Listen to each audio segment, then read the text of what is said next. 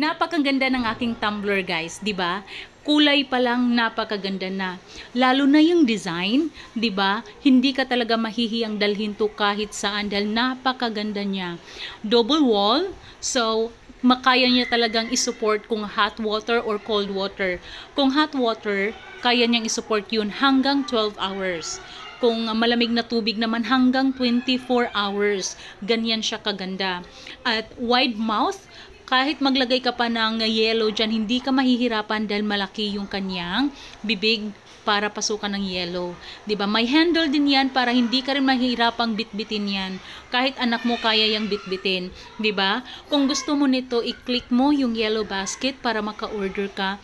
Ang bilis lang din ng kanilang shipment. O tingnan mo, 'di ba? Kahit san kahit saan ako nagpunta, dinadala ko talaga 'yan. Dahil alam ko maganda yung quality niya.